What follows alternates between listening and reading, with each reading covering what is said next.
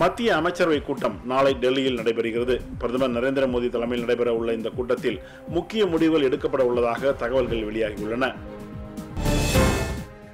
இணைய வழி விளையாட்டுகள் குதிரை பந்தயம் கேசினோ விளையாட்டுகள் ஆகியவற்றிற்கு இருபத்தி எட்டு சதவிகித ஜிஎஸ்டி வரி விதிக்க மாநில நிதியமைச்சர்களை கொண்ட குழு பரிந்துரை செய்துள்ளது.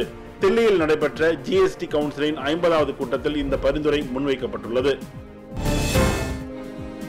ஜம்மு காஷ்மீருக்கு சிறப்பு அந்தஸ்து நீக்கப்பட்டதற்கு எதிராக தாக்கல் செய்யப்பட்ட வழக்கை ஆகஸ்ட் இரண்டாம் தேதி முதல் நாள்தோறும் விசாரணைக்கு எடுத்துக்கொள்ள உச்சநீதிமன்றம் உத்தரவிட்டுள்ளது.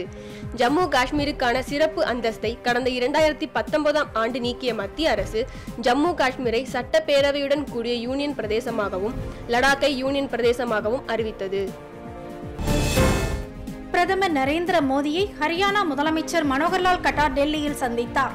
இந்த சந்திப்பில் ஹரியானாவில் ஏற்பட்டுள்ள வெள்ள பாதிப்புகள் குறித்து இருவரும் ஆலோசனை நடத்தினர். இந்தியாவின் குறிப்பிடத்தக்க வறுமை குறைப்புக்கு ஐநா பாராட்டு தெரிவித்துள்ளது. கடந்த பதினைந்து ஆண்டுகளில் நாற்பது கோடி மக்கள் வறுமையிலிருந்து மீண்டுள்ளதாகவும் மனிதவள மேம்பாட்டில் இது குறிப்பிடத்தக்க முன்னேற்றத்தை பிரதிபலிப்பதாகவும் ஐநா தெரிவித்துள்ளது. தீவிரவாதத்திற்கு எதிரான போரில் இந்தியா முன்னிலை வகிப்பதாக தேசிய பாதுகாப்பு ஆலோசகர் அஜித் தோவல் தெரிவித்துள்ளார். டெல்லியில் பேசிய அவர் இந்தியாவில் எந்த மதத்தினரும் அச்சுறுத்தலுக்கு உள்ளாகவில்லை எனவும் நாகரீக நாடாக விளங்கும் இந்தியாவில் அனைத்து மதத்தினரும் சரிசமமாக நடத்தப்படுவதாகவும் கூறியுள்ளார். ஜம்மு காஷ்மீரில் மோசமான வானிலை காரணமாக நிறுத்தப்பட்டிருந்த அமர்நாத் யாத்திரை மூன்று நாட்களுக்கு பிறகு ரம்பானிலிருந்து மீண்டும் தொடங்கியது. கனமழையால் சேதமடைந்த சாலைகள் தற்போது திறக்கப்பட்டுள்ளதாக அதிகாரிகள் தெரிவித்துள்ளனர். தமிழ்நாட்டில் சட்டம் ஒழுங்கை பராமரிப்பதற்கு அரசு முக்கியத்துவம் அளித்து செயல்பட்டு வருவதாக முதலமைச்சர் மு க ஸ்டாலின் தெரிவித்திருக்கிறார்.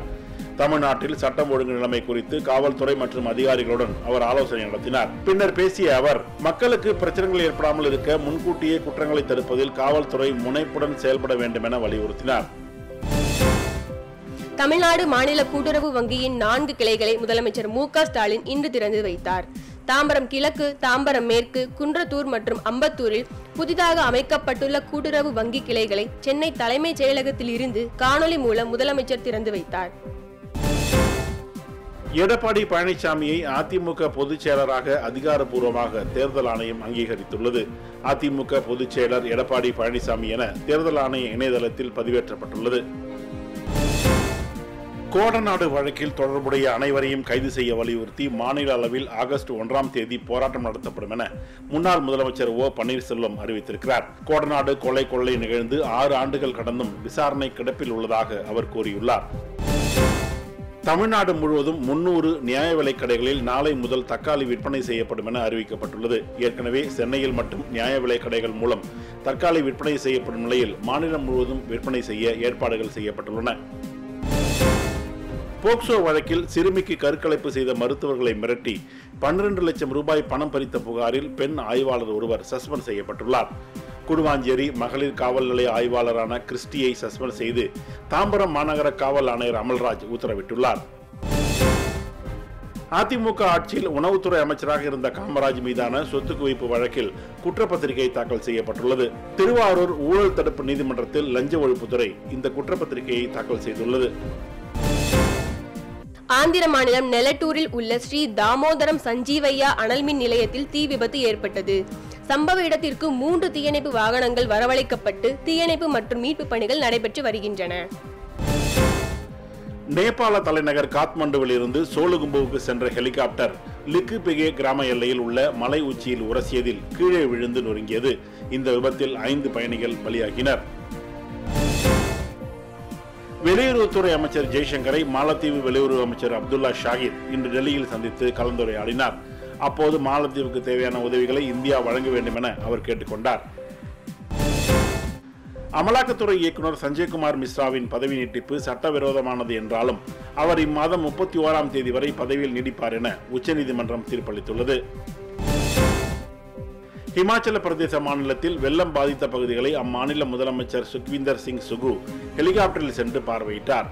அப்போது வெள்ள பாதிப்பு அதிகமுள்ள பகுதிகளில் சிக்கியுள்ள மக்களை மீட்டு தேவையான நிவாரண உதவிகளை வழங்குமாறு அதிகாரிகளுக்கு அவர் உத்தரவிட்டார்.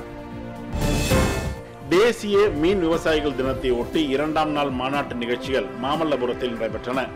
இதில் மத்திய மீன்வளத்துறை அமைச்சர் பர்ஷோத்தம் ரூபாலா இணையமைச்சர்கள் எல் முருகன் சஞ்சீவ்குமார் பல்யான் மாநில மீன்வளத்துறை அமைச்சர் அனிதா ராதாகிருஷ்ணன் உட்பட பல்வேறு மாநிலங்களின் மீன்வளத்துறை அமைச்சர்கள் பங்கேற்றனர்.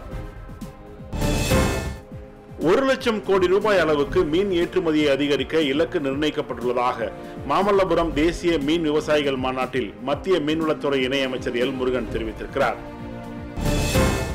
குப்பை இல்லாத நகரங்கள் என்ற இலக்கை அடைய சிறப்பான திட்டமிடல் மற்றும் செயல்பாடுகள் அவசியம் என மத்திய நகர்ப்புற வளர்ச்சித்துறை அமைச்சர் ஹர்தீப் சிங் பூரி தெரிவித்திருக்கிறார்.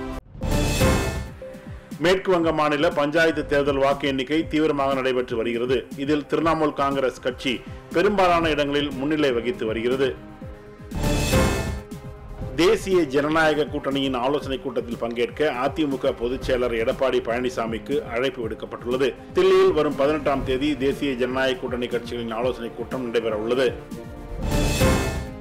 சந்திரயான் மூன்று விண்கலம் வரும் பதினான்காம் தேதி விண்ணில் ஏவப்பட உள்ள நிலையில் அதற்கான ஆயத்த பணிகள் இறுதிக்கட்டத்தை எட்டியுள்ளன.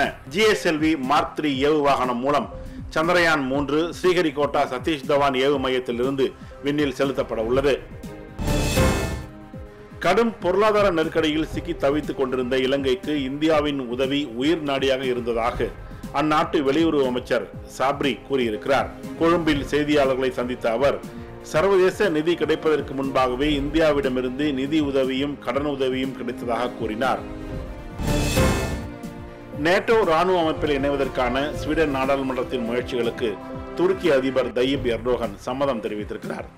நேட்டோ அமைப்பில் உறுப்பினர்களாக இணைவதற்கு ஸ்வீடன் மற்றும் பின்லாந்து நாடுகள் விண்ணப்பித்துள்ளன.